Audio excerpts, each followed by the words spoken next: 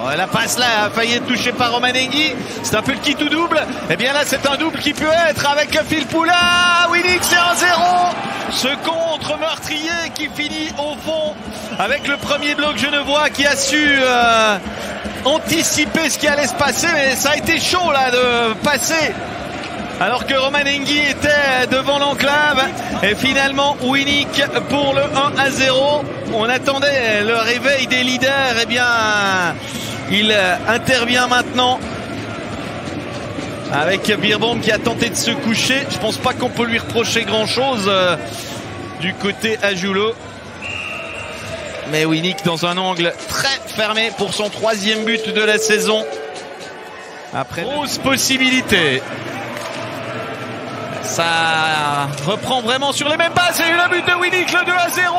Alors Winnick, lui, il n'a pas raté la cible. Hein. Il s'est appliqué, il a pris son temps au poignet. Il a levé le puck dans l'angle du gardien de Wolf. Et le 2 à 0 qui découle d'une logique pour le moins implacable.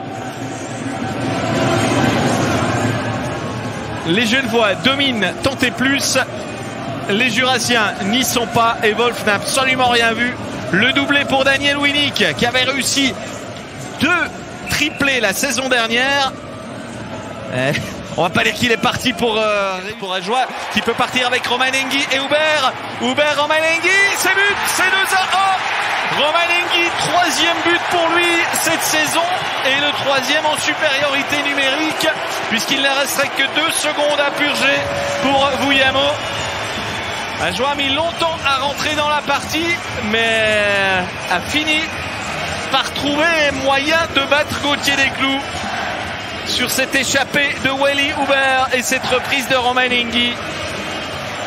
Le nobody à Lugano en train de devenir un des joueurs clés de Gary Chian.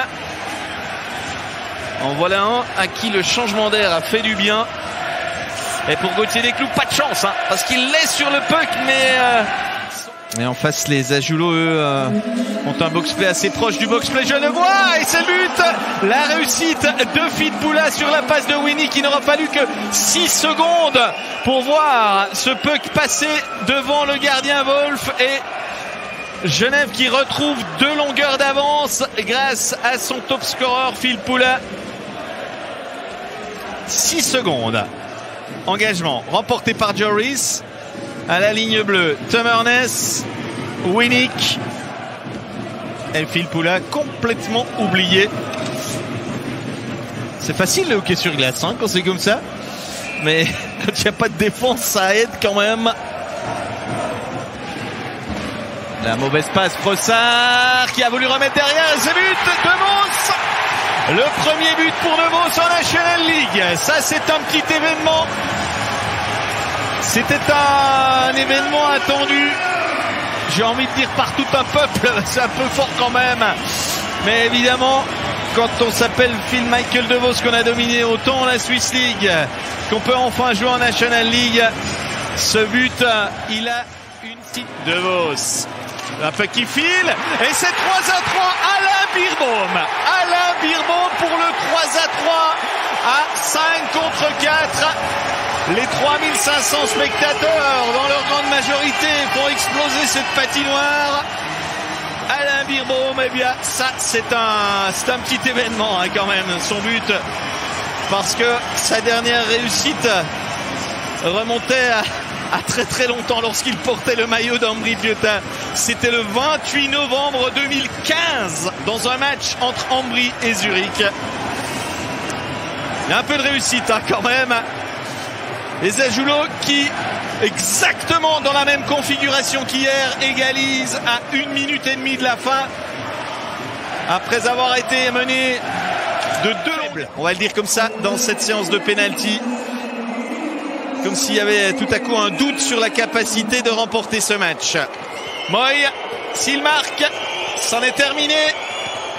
Moy qui marque et la victoire pour Genève Servette entérinée sur la marque de 4 à 3 après les tirs au but.